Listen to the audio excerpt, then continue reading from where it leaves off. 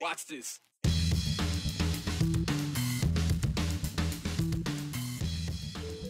Their goal to go home was sort of set for last Friday, and they kind of did.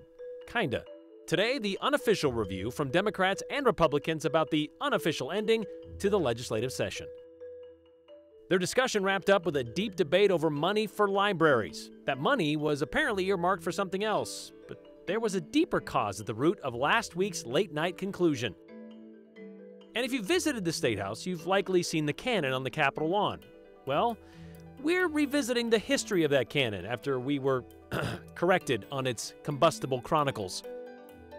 We were told from the beginning the goal for lawmakers was to get out before the end of March. And as we got closer to that deadline, we heard, well, even more finalized the last full week, probably, which ended last week. That was going to be the go home date.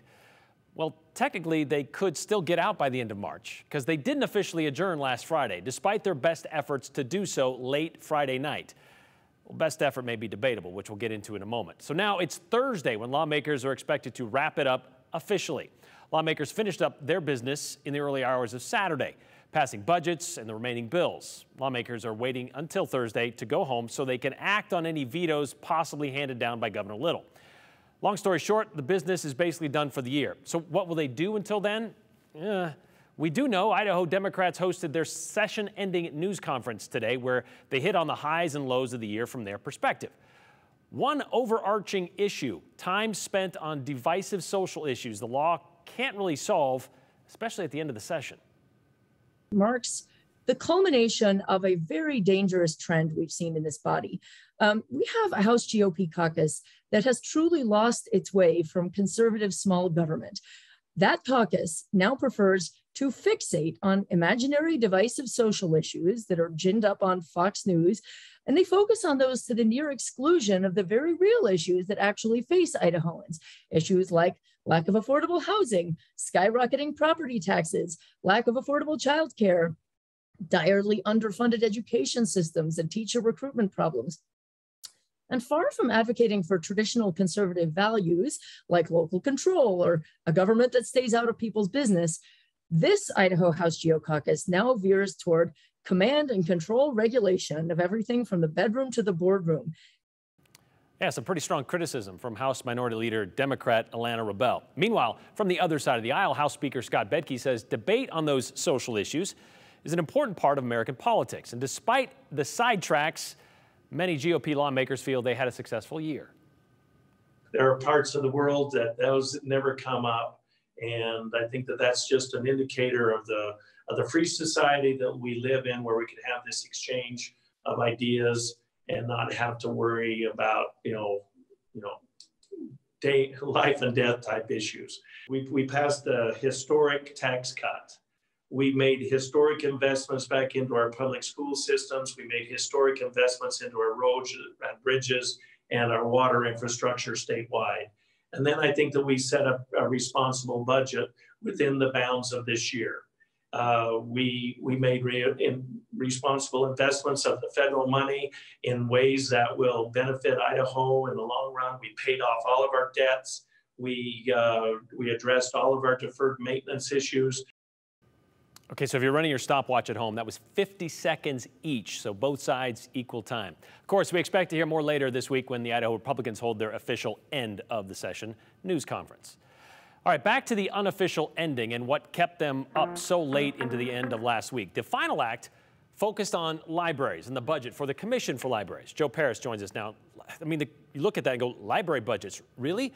How did this become a late session buzzword or in some cases a buzz kill? What was the end result with this and why? Well, it's interesting you mentioned that too, because I heard a lot of side conversations out at Treefort, people discussing what possibly went on there. So if you're having one of those side conversations this weekend, here's your answer. Late on Friday night, the fifth version of the Commission for Libraries budget finally passed, and it included the cut of federal ARPA dollars to the tune of about $3.5 million. And that money would have gone towards telehealth access projects for rural areas. Now, some lawmakers have said that they simply could not support taking and using those federal dollars.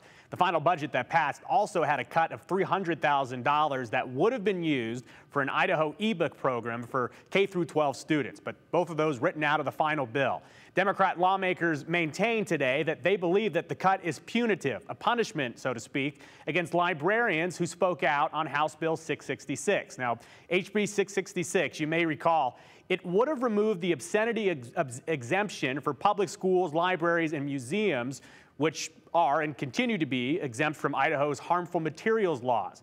After hours of debate and redrafting legislation and some private behind the scenes conversations, as well as some math, Lawmakers passed the Commission for Libraries budget, but that was not the end. Oh no. The Idaho House also debated a resolution on Friday to create a study group to look at materials in libraries and the extent of obscene or harmful books and content available, specifically to minors. Here's a look at the debate and conclusion lawmakers came to late Friday, again on a study group that would study what is happening in Idaho libraries, specifically what minors have access to. Late into the night Friday, Idaho lawmakers discussed the notion that Idaho minors are accessing obscene and harmful materials in Idaho libraries. There is material that is defined in our state code as being harmful to children, harmful to minors, that continues to be accessed in the shelves of our libraries. Eagle Representative Gayann DeMordaunt is the sponsor of House Resolution 23 a move in part to establish a working group to examine materials harmful to minors in libraries and K 12 schools. Republican lawmakers explain their stance in view of what they believe is happening in Idaho. This is about our children and our grandchildren. And my real concern is we're losing them to evil. Some of these books, books were brought to my attention and um, I didn't even understand the law. But what we have right now is pornography is illegal, and you can't give pornography to kids. You can't even have child pornography. But it's in these books, it's in, it's in a lot of these books. Some lawmakers clearly shifted blame to librarians that they believe are not protecting children from harmful materials. This comes in reference to pushback from some librarians about the now dead House Bill 666, a bill that would have removed the obscenity exemption for public schools, libraries, and museums. At least for some librarians out there, they are more concerned about the well being of librarians in their professional careers than they are about the welfare of children and the potential harm done to them if we move anywhere from the status quo of what's going on in libraries or schools or universities or museums. Idaho Democrats were quick to push back, saying that the demonization of libraries and librarians is based on a story that is not really accurate. It's a false narrative to suggest that obscene materials are all over in our libraries. They aren't. You might be able to find one or two examples that make certain members of our communities uncomfortable, but this is a false narrative. False. Absolutely false. Democrat Representative James Ruchti made the case that lawmakers were being punitive, punishing librarians who spoke out on House Bill 666. When librarians and library boards get their backs up and say it's a false narrative, they're accused uh, with another false narrative that now they're defending this bad practice of having obscene materials and exposing kids to those obscene materials. Some pushed back, saying it's not a false narrative at all. It is not a false narrative. This is going on in libraries in the state of Idaho. I had a colleague of ours that was, was uh, talking to another colleague about this issue. He said, Well, let's pull up this book and let's see if it's available in your library in the under five section. He pulled it up, it's there. He said, Do you want to see the images? Colleague said, Is it pornographic? He said, Yeah. He goes, No, I don't want to see it. Representative Chris Mathias made a point about who to blame when it comes to children and obscene material. If three year olds and five year olds are going into libraries in Idaho and getting their hands on these materials, parents are failing at a level that no legislature can fix. After extended debate, the resolution passed, paving the way for a study group focused on harmful materials in libraries in Idaho.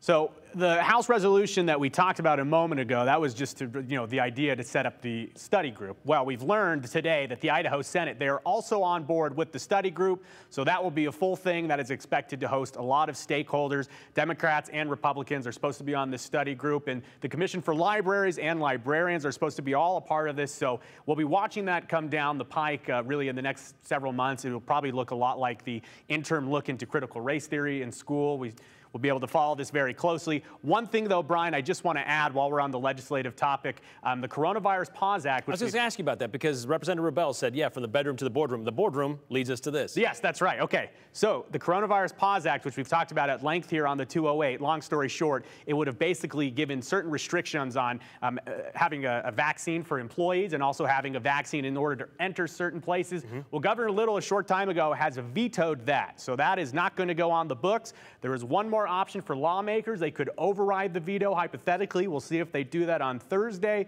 There's a question on if the numbers are there to override it. You need two thirds of both houses, so it's wait and see. But the Coronavirus Pause Act, which did have a lot of support in the State House, was vetoed a short time ago by the governor. All right, thank you very much. I know we've talked about these libraries and librarians for weeks now, since this really became a topic that we didn't expect to become a topic here this legislative session. So the official story of the library's allocation bill, as we just heard, can be threaded through the failure of House Bill 666 and the subsequent House Resolution 23. Both legislation sponsored by Representative Gayann DeMordaunt. The former referred to as mischief by Senate Pro Tem Chuck Winder, and it died in Senate committee. That would be House Bill 666. The latter passed the House Friday with a 50 vote advantage. That would be the resolution. Quoting the Idaho Constitution, it did, and its bedrock principle that, quote, the first concern of all good government is the virtue and sobriety of the people, end quote, and how the state constitution directs the Idaho legislature to enact policies that promote temperance and morality. Think about that. It even quotes the U.S. Supreme Court case, the United States versus American Library Association, where it ruled states have a compelling government interest in protecting young library users from material inappropriate for minors, and how parents should reasonably expect their children will not encounter harmful materials while at the library. Well, during the House floor debate over House Bill 666, there was a packet passed around containing examples of, quote, books available to children and youth in school and in public libraries in Idaho, which meet the legal definition of being harmful to minors, end quote. The first on this list, a book called Gender Queer, a memoir written in 2019 by Maia Kobabe.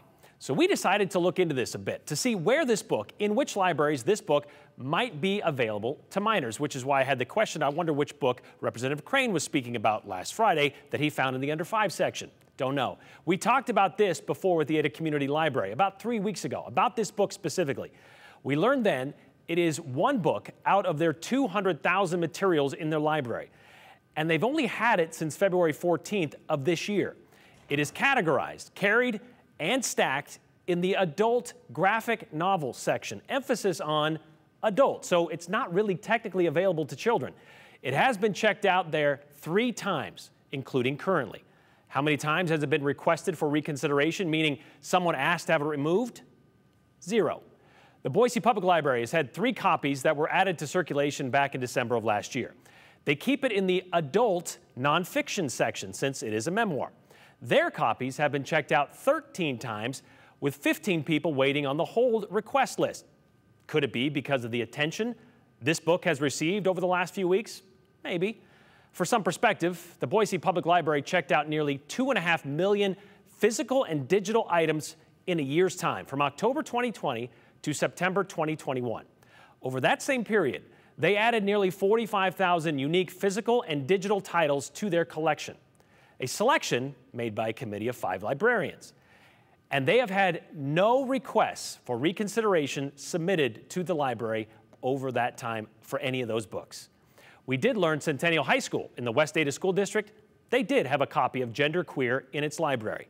But after a reconsideration request, it has recently been removed. We did ask the Boise Public Library if during this legislative session, any lawmakers happened to reach out and ask them about their collection and how it is handled. We were told a few Senate and House members did reach out to them to see how their collection development team selects materials for the library and how the process for reconsideration reviews works with the staff, the management, and the Board of Trustees. A few reached out. Maybe about as many as there are copies of Genderqueer on the library adult shelves. Maybe. By the way, between books and movies, I looked on the website. There are 57 copies of the Fifty Shades of Grey franchise available at the Boise Public Library.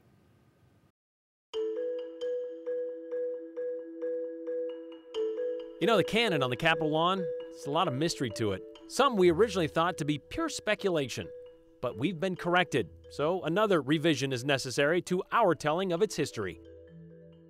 You know, we love to hear from you. A lot of stories stem from your comments or questions you send in. One of those about kites missing from a Boise park.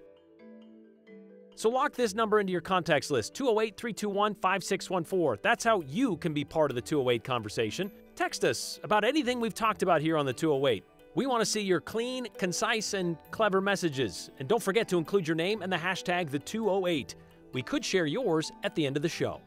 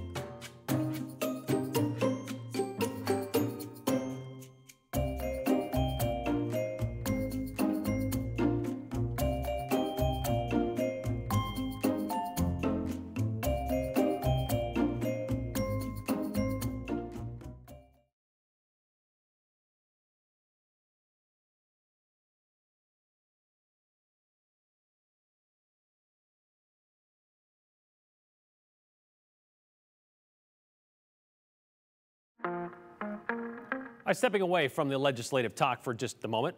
Brian Graber sent us this email. What happened to the kites in the kinetic kite sculpture in the Bloch Cancer Survivor Memorial in Julia Davis Park? Well, we reached out to the City of Boise Arts and History Department. That sculpture is called Wind Dance, and it was installed back in 2014. Turns out the kites are missing. They say the structural, uh, are not missing, I should say. They are, well, they were removed. They were structural damage caused by heavy snowfall. So they've been temporarily taken down for repairs. So that's what happened with those. So if you have any good questions about those, please send them in. Good news, they're expected to be back up in a few weeks after they make said repairs. So that's the good news. All right, well, last week we broke down the history of the Capitol Cannon. You may remember that. The 1845 model Seacoast gun that was donated and mounted on the Southwest lawn in 1910. It was kind of like a, a game of two truths and a lie, since there was a lot about the cannon that was either misunderstood or just all out wrong. For example, for years the cannon was said to be a model 1840, but it's actually a model 1845, which is an important distinction for Seacoast gun aficionados. There's also a plaque on the side of the cannon that claims it was used in the 1863 siege of Vicksburg, Mississippi during the Civil War. However, Idaho's Department of Administration, who is in charge of the Capitol grounds, told us the cannon is certainly from the Civil War era, and it did spend some time in Vicksburg, but the cannon's combat service record could not be confirmed. It claims to have been donated by Senator William Borah and State Treasurer C.A. Hastings. However, the level of Hastings' involvement, eh, somewhat debatable, according to those in charge. Then there was the reason for the barrel being filled with concrete. This, however, was another point of contention where I admit I kind of missed the point on this one. I asked the Capitol curator with the Idaho State Historical Society about the rumors of it being, quote, unofficially fired off at times over the years. There were two stories from the 30s and 40s when it was packed with gunpowder and debris and then fired, doing damage to nearby buildings and cars. Then there was another story about the barrel being used as a drop point for bootleggers during Prohibition. And on a hot day outside, well, it overheated and the bottle inside exploded. Well, the curator told us that story couldn't be proven. But I kind of understood her to mean that none of those stories could be proven. So my mistake. It turns out there was some archival evidence to the former. March 6, 1932, the Sunday morning edition of the Idaho Statesman declared a blast from State House cannon wakens drowsy Boise residents. Old U.S. number 79, they wrote, came to life at 11:36 Saturday night and treated Boise to the biggest noise the capital city has heard in many a day. Who loaded the old gun or why could not be learned that night by police. But they did discover the cannon had been charged with a stick of black powder, which apparently had enough kick to send debris clear to Jefferson Street. Then the next day, March 7th, students suspected, the statesman said. The update Boise High students, jubilant over the school's big basketball win over Caldwell in the district tournament, were believed to have put that black powder in the cannon.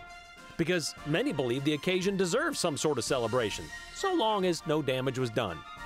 About that, there just happened to be a man getting into his car, which happened to be parked in a direct line with the cannon's gaping mouth.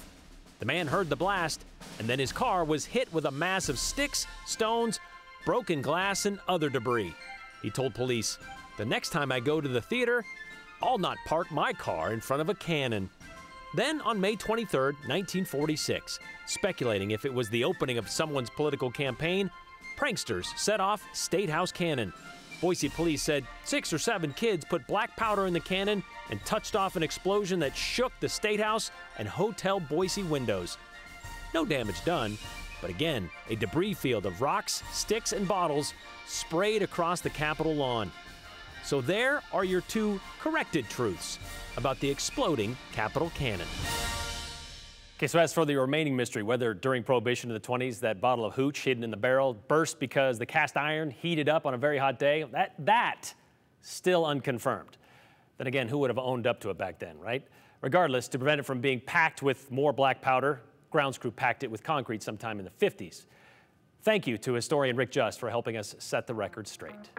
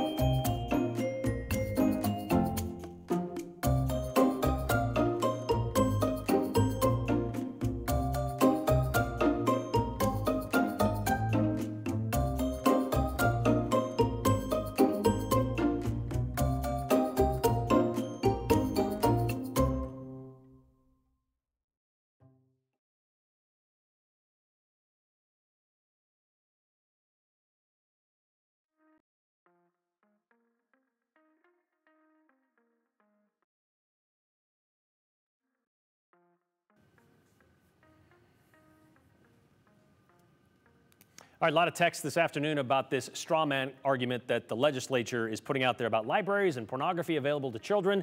Like this one from Karen How many five year old kids are consciously aware of and searching for a memoir on gender identity? Sounds like another opportunity of LGBTQ suppression in Idaho, she says.